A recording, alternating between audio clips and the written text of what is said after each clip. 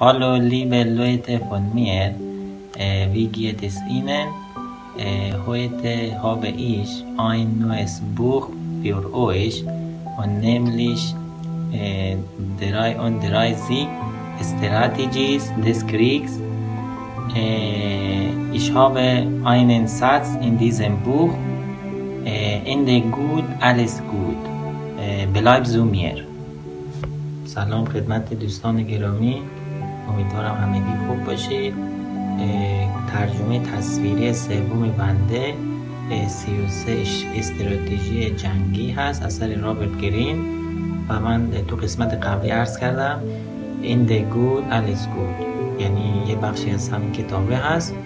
زمانی که نتیجه خوب هست مثل این هستش که کل مسیر اگرچه سختم بوده باشه شیرین میشه.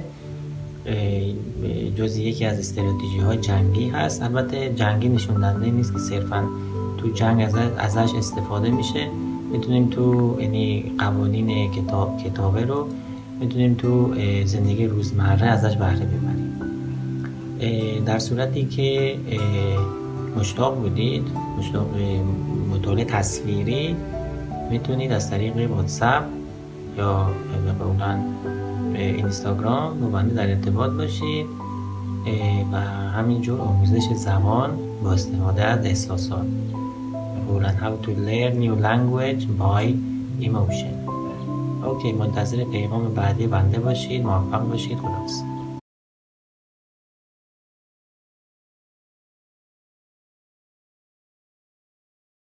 The art of war is to win without bloodshed or the use of force, the minimum necessary use of violence. Part 1 Self directed warfare. Declare war on your enemies. In 401 BC, Xenophon led Greek mercenaries into Persian territory. When their leader died and they had nothing more to fight for, surrounded by the enemy, they had to become a concentrated force, fighting their way back home. The soldiers' spirit was crushed, they had weak morale and started fighting each other. Xenophon united them, thus defeating the inner enemy. Focusing on survival, the prospect of getting home alive to family and friends made them persevere. You cannot swing a sword without knowing what to hit with it. It's you against the world, and it's you against yourself.